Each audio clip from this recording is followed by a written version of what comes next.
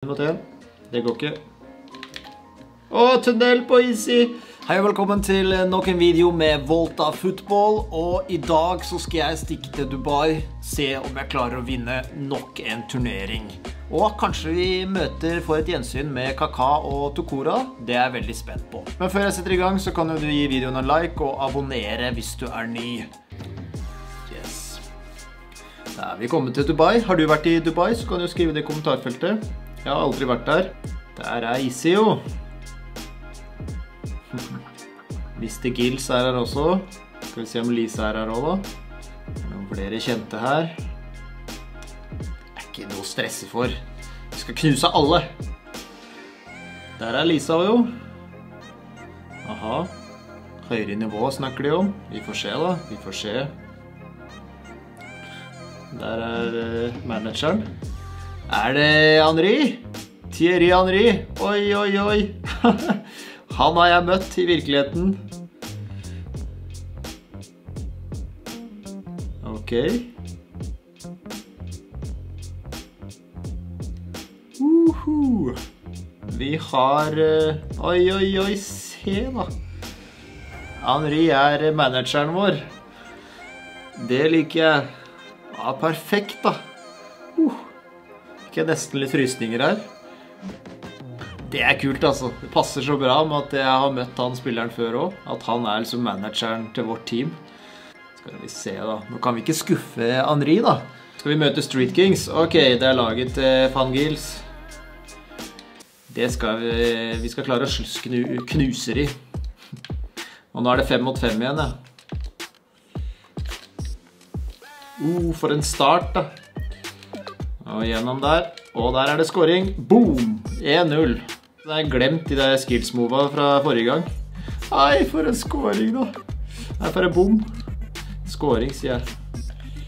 Å, skal vi se, da. Det funker ikke, vet du. Boom! 2-0. Jeg har for så vidt spilt eh, tre mot tre. Ja, selvfølgelig. Der får de en scoring. Trøstemål. Hvis du vil se at eh, vi har spilt litt 3v3, så kommer det en link over hodet på dere nå, hvor vi spiller eh, ekte 3 mot 3. Åh. Det var noen som sa at jeg var bedre i ekte 3 mot 3 eller på Volta. Det kan godt stemme, for nå er det 2-2. Nå må vi skjerpe meg. Og de leder. Det er første gang at motstanderen går opp i ledelsen. Igjen, vi kan ikke skuffe, vi kan ikke skuffe Henri. Da må vi ta, må ta saken i egne hender her. Sånn. Nei! Ikke scoring der eller Der, da. 3-3. Ja, nå skal vi ligge bak og... Åh, farlig. Uff. Å, lever vi farlig. Å! 5-3. Det er jo helt krise.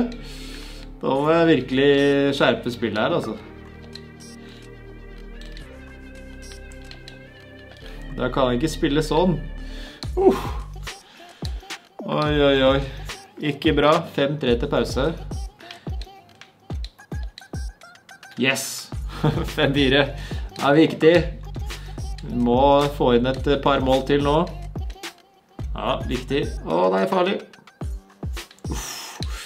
6-4. De holder unna.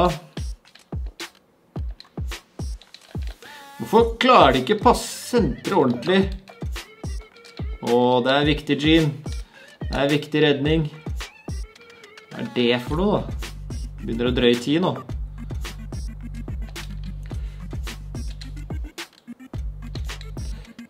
Boom. 6-5, to minutter igjen. Vi må skåre to mål. Ja, ja. Mellom der, mellom der. Oh, det er viktig. 6-6.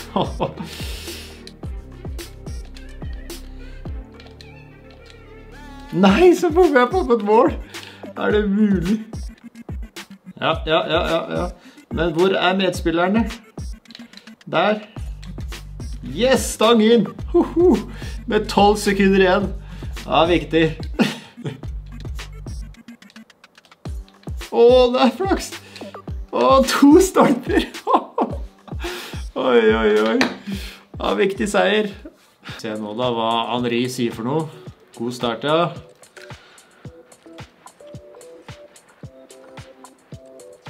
Ok, vi kan velge. Det er det naturlig å ta den beste, da, er det ikke det? Ja. Vi tar den beste spilleren. Sorry, Ed. Jeg har kanskje ikke satt inn av nye spilleren, da, men samme av det. Det er det laget til Lisa vi skal møte. Nå er frispark. Oi, det har jeg ikke sett før. Er, har du det her på Volta òg? Det var altfor løst. Hva er det for noe tull, da? Tar et lite innlegg der. Boom! I mål. Ja, Det som er litt morsomt eh, angående Lisa, da, var at første gang jeg møtte henne, det var i Lecce i Italia i 2012. Jeg mener det var første gang. I hvert fall da jeg la merke til at hun jenta der har skikkelig skills. Og eh, det som var litt morsomt, var at hun trente hele tida, konstant. Hun hadde liksom ikke pause. Jeg tror nok det var litt fordi at hun skulle imponere oss, eh, oss gutta som var eh, rutinerte triksere. Så hun, eh, hun triksa og triksa og triksa. Og jeg husker når vi venta mellom pause mellom konkurransen og sånn, så drev hun og tok tunnel på randoms folk på gata og sånn. Hvis dere har sett det. Så jeg skjønner at hun ble god. Hun var veldig tidlig ute med å, å trene på freestyle og spesielt én-mot-én-spill. Oh, men hun er ikke så god på spillet til å score mål, da. Det er hun ikke.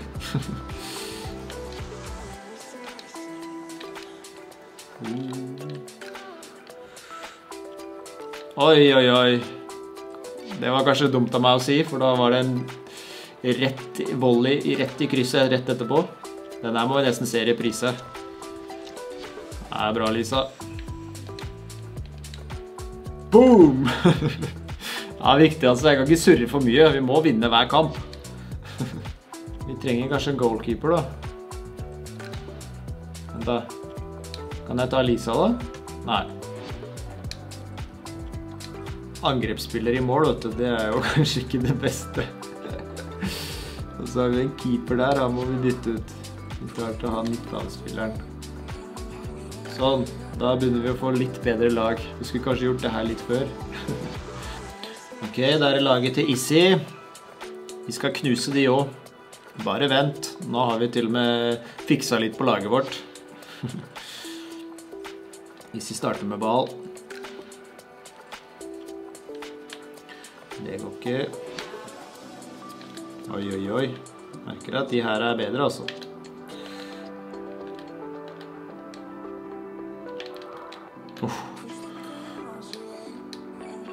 1-0 allerede. Kanskje det var dumt å forandre på laget mitt. Spørs det, altså. Det er noe med å være lojal med de spillerne du har. Yes, den har vi. Nei, vi skulle tatt igjennom der, da. Der, da. Nei, så skårer vi ikke. Sjanseløst. Der, da. 1-1. Nei, Isi har jeg ikke så mange historier om, altså, for jeg har aldri møtt han.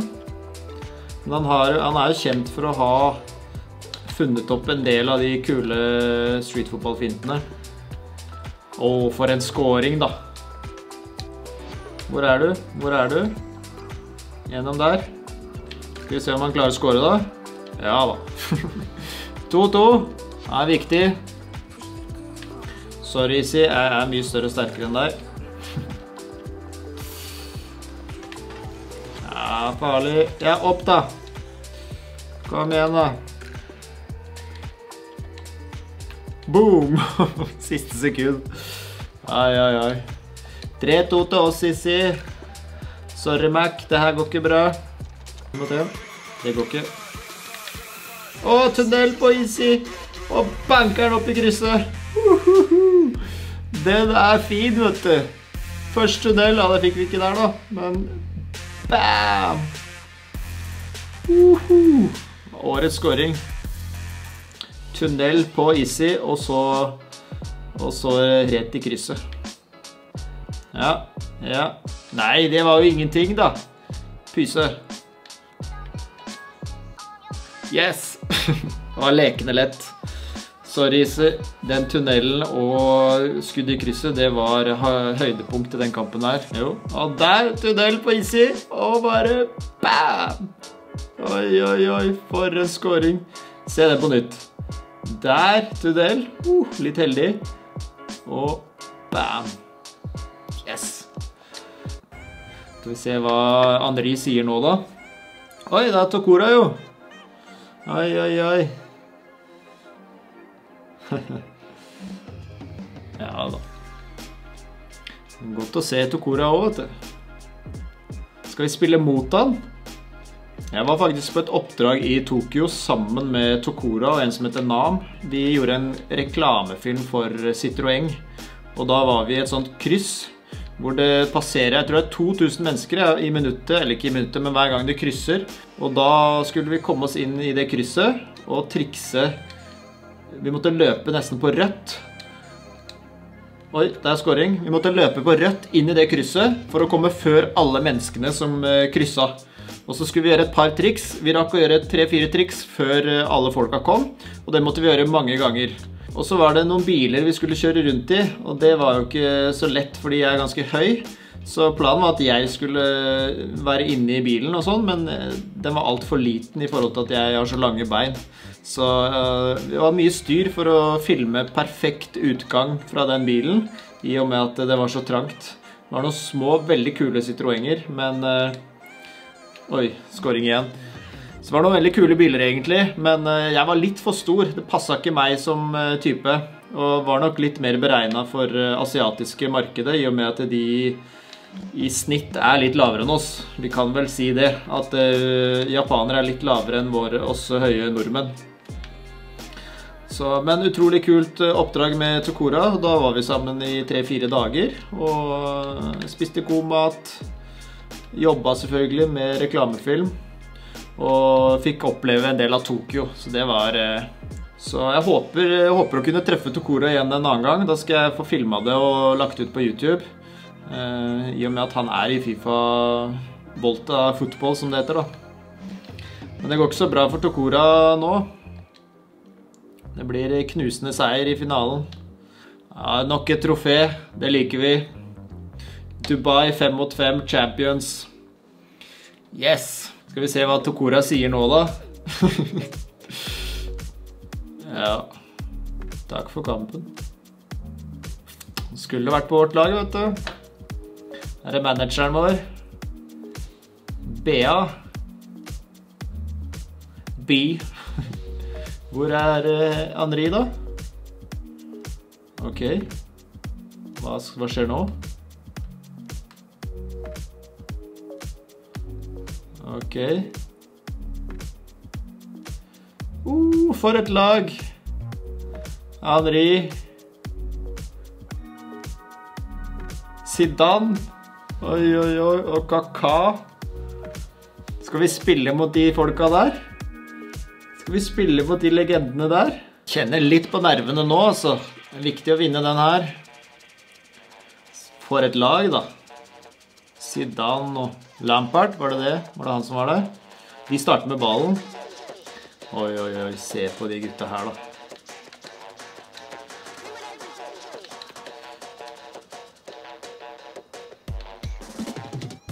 Boom! 1-0!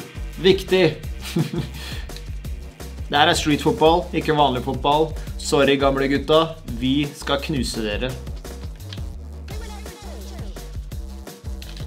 Uff, 1-1. Uh, Speichel er god, vet du, i mål. 1-1 til pause. De gutta her er gode, altså. Så det er litt urettferdig, da, at det, er, eh, at det bare er gutter. De kunne jo hatt et par damer med seg òg. Hva syns dere om det? Burde det være damer på begge lag? Det er viktig. Der, der. Boom! Den takker selv Schmeichel. 2-1. Hvor gode de gutta her er, da. 2-2. Hva skjer? Og det er tre mot én. Nei, nei, nei. Skal de skåre nå?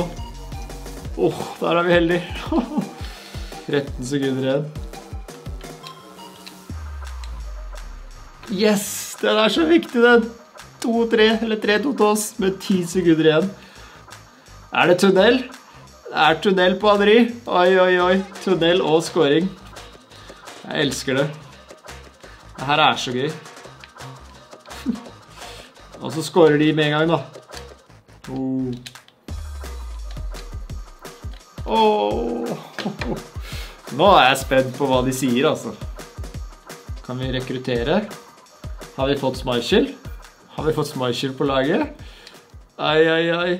Skal vi se hva som skjer nå, da. Han var litt svett. Litt rann svett, gitt. Ok, her var det helt, helt tomt.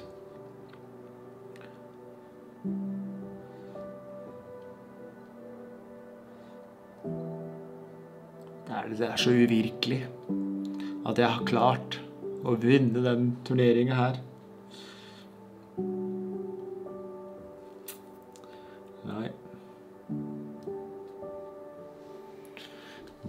Hvor som helst.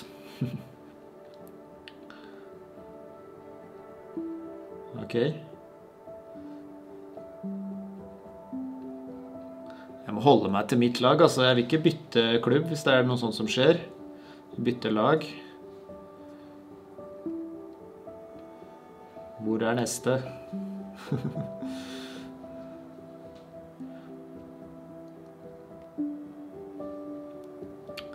Street and Icons, Dubai.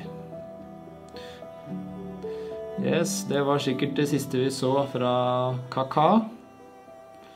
Yes, det var Story Modes-debuten. Jeg vet ikke om det er noe mer å spille her. Jeg skal sjekke ut litt eh, etterpå, men det blir i så fall i neste video. Hvis du likte videoen, så liker du kanskje den videoen der, eller den videoen der også. Og så takker jeg for at du så på, så ses vi neste video. Ha det bra!